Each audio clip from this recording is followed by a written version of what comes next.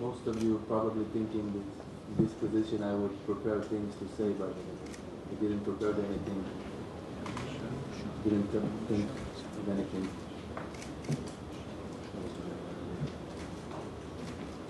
When my wife called me on Saturday morning, I wasn't with her and my two daughters.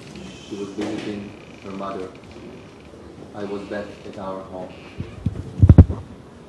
She told me on the phone, whispering, terrifying, that she hearing gunshots, people entering inside the house and they are locked in the safe room. I thought to myself that it's best for us to keep quiet and disconnected the call. This was our last call. And I thought to myself, this is hell. The next few hours, trying to get a lot of information, trying to reach her mother in law on the phone, trying to locate her mobile. Saw it was past the border. I thought to myself, no, this is hell. And later on, when I saw a video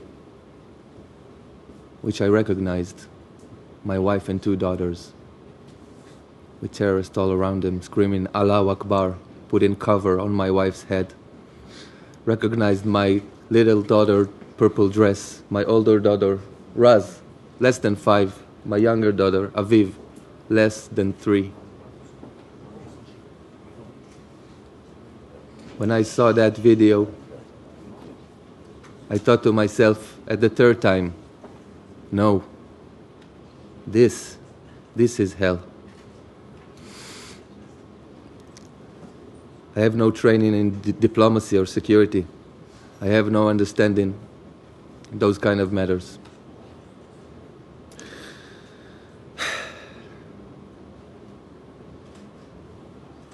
They are, they are babies. They need treatment. They need medicine. My wife needs medicine. Babies cannot hold in captivity much longer. I never believed, you know, my grandmother's wife, Tirza, who passed on the age of 100 just a few months ago, was a Holocaust survivor. I never, saw, I never thought that I live to see a Holocaust. I don't know who to approach. I don't know what to say. No one prepared a script for me.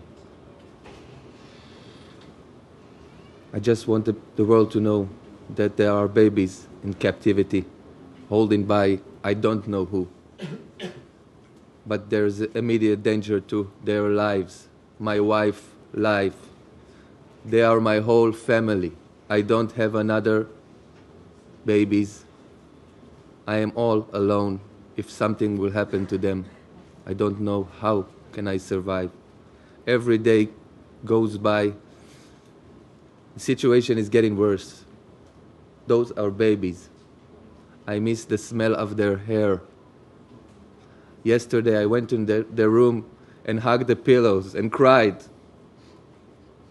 I couldn't look at their photos. I can't open their drawers, look at their clothes. I can't. I can't allow to myself focus more than 10 seconds on their pictures. I, I don't see their pictures. But you know what? The third time I thought not, this is hell, was even not the video. It was when I saw, I didn't saw, but I heard and I understand the images you just saw. That's when I thought, no, this is hell. I can't eat, I can't sleep, I can't think of anything else. I know the diplomacy world, the political world, is a cold and cynical world.